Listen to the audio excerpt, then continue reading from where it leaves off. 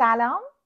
اومدم بهتون پنج تا راهکار بدم که قبل از ورود به بازار کار باید اینا رو بدونین که وقتی وارد بازار کار میشین بدونین که چقدر این پنج نکته می‌تونه مثبت باشه و چقدر می‌تونه کمکتون کنه. بریم اون طرف و این پنج رو کامل براتون توضیح بدم. پنج رو اومدم اینجا نوشتم و بعدش حالا از روی اینا براتون می‌خونم. اولیش چیه؟ اولیش اینه که شما نمونه کار داشته باشین بچه یعنی چی؟ یعنی اینکه یعنی این نیست که شما حتما سفارش کار داشته باشین. نه. اگر شما دارین خودتون رو تحت عنوان تصویرگر معرفی می‌کنین باید چند تا نمونه تصویرسازی کامل اجرا شده داشته باشین. حالا این می‌تونه برای خودتون بوده باشه یعنی از اون مدلایی که حالا دارین دلی کار می‌کنین برای خودتون یا جز سفارشاتون. پس اولین قدم برای اینکه نشون بده. شما می‌تونین از پس یک کاری بر بیاین اینی که نمونه کار داشته باشین. نمونه کارام گفتم باید تحت اون عنوان شغلی باشه که می‌خواین بر... توی بازار کار روش مانور بدین و کار کنین. مثلا اگر تصویرسازی کتاب هستش خب باید چندین تا فریم مثلا تصویرسازی کتاب داشته باشیم. یا مثلا فریم های تصویرسازی شده کامل داشته باشیم.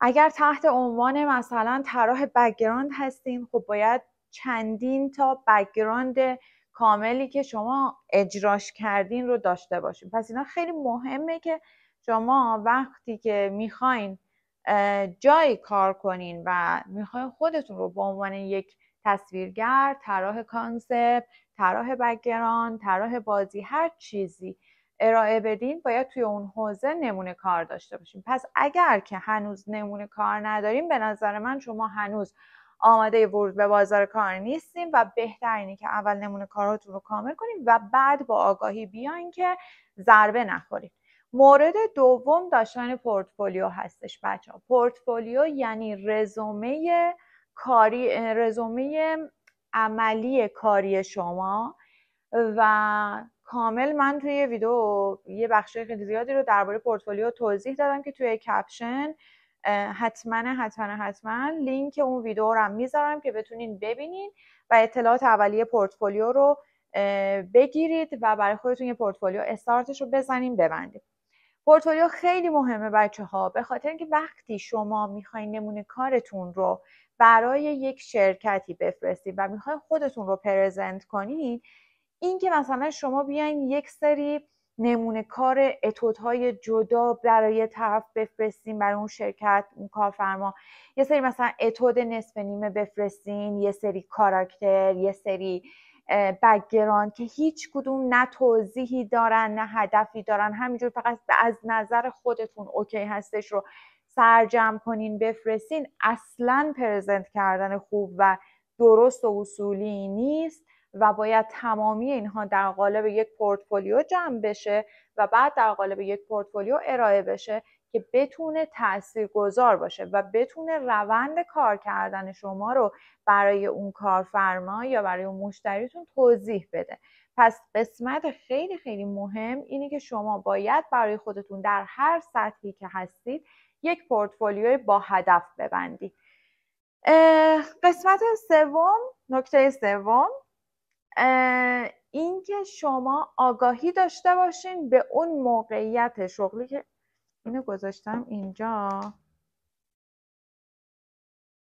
اینو گذاشتم اینجا که خودم ببینمش یادم نرم اون ورش داشتم نگاه می‌کنم چی نوشته بودم؟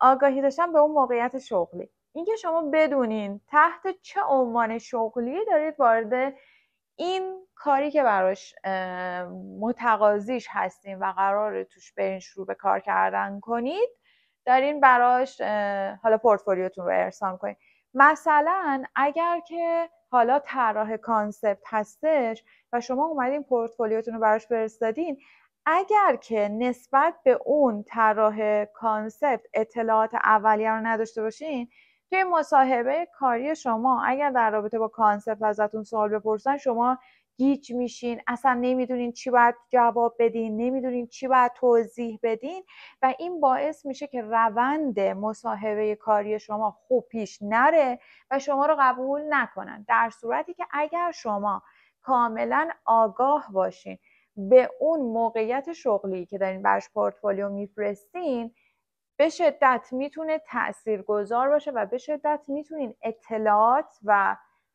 جرقه هایی رو در ذهن کارفرما و اون نفر مقابلتون به وجود بیارین که شما می‌تونین از پس این کار بر بیاین و کاملا این عنوان شغلی و این کار رو درک کردین. مثلا وقتی شما قراره که توی هیته تصویرسازی کتاب با یک کارفرما مصاحبه داشته باشین وقتی در رابطه با تصویرسازی کتاب ابعاد کتاب های چاپی رو می‌دونین ابعاد برش ها رو می‌دونین یا مثلا دوریز ها رو می‌دونین یا مثلا سفارایی رو می‌دونین وقتی کارفرما ازتون یه سری سوالات توی این هیته می‌پرسه دیگه هول نمی‌کنین گیج نمیشین که وای الان من باید چی بگم چه کار کنم الان یه دفعه سوتی ندم. و این اتفاقات دیگه نمیفته یعنی شما کاملا واقف هستین که چه عنوان شغلی رو دارید براش پورتفولیو ارسال می‌کنید. پس خیلی مهمه که برای اون عنوان شغلی که دارید براش پورتفولیو ارسال می‌کنین آگاهی داشته باشین. مورد چهارم اینه که حداقل دو تا نرم افزار باید شما یاد داشته باشین بچه. حالا این نرم افزار چیا هستن؟ شما باید یک نرم افزار vector و یک نرم افزار پیکسل یاد داشته باشین به خاطر اینکه توی حوزه کار کردن تسلط اولا که روی نرم افزارهای زیادتر توانایی شما رو نشون میده و باعث میشه که اون کارفرما بیشتر شما رو جذب کنه. ولی وقتی که وارد بازار میشین خب ما دو تا محیط کاری داریم توی کارهای گرافیک و اینها. یه سری نرم افزارهای پیکسلی هستن یه سری نرم افزارهای پیکسلی ها مثل فتوشاپ هستن و vector ی ها مثل Illustrator هستن. شما باید حتما حتما این دو تا نرم افزار رو یاد داشته باشین بچه ها. وقتی که وارد بازار کار میشین همه کارها با فتوشاپ پیش نمیره. و شما باید یک نرم افزار vector ی هم یاد داشته باشین. به خاطر اینکه یه وقتایی یه سری چاپخونه ها یه وقتی یه سری کارفرماها براتون یه سری محدودیت به وجود میارن و میگن که خب نه حالا حتما حتما این کار باید با vector بسته با یه نرم افزار vector ی بسته باشه. شما پس اونجا باید توانایی کار کردن با یه نرم افزار vector رو هم یاد داشته باشین. حالا توی حیطه کارهای تصویر سازی و طراحی اینجور چیزا این دو تا همین فتوشاپ و Illustrator هستن که بهترین کمک کننده شما هستن.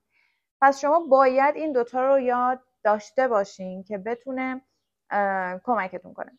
مورد آخر خیلی مهمه که بچه ها وقتی که وارد مصاحبه کاری میشین و وقتی که می‌خوایم وارد دنیای بازار کار بشین روحیه انعطاف پذیری داشته باشین. وقتی ازتون کارفرما انتقاد می‌کنه یا هر آدم دیگه ای انتقاد می‌کنه از کارتون ناراحت نشین. من دیدم بعضی از بچه ها حتی توی کلاس های تصویر سازی که میان شرکت می‌کنن من وقتی ایراد کارشون رو می‌گیرم میگن وای خورد تو ذوق من وای مثلا من ناراحت شدم من دیگه ادامه نمیدم. وقتی هم که تو وارد بازار کار میشین همین روحیه رو حفظ می‌کنین باعث میشه که کارفرما وقتی بهتون دوتا اصلاحی می‌زنه شما بگین وای من اصلا ناراحت شدم وای چقدر بد بود و از این حرفا و باعث میشه پروژهتون با شکست روبرو بشه پس یکی از چیزهایی که شما باید خودتون رو برای ورود به بازار کار آماده کنین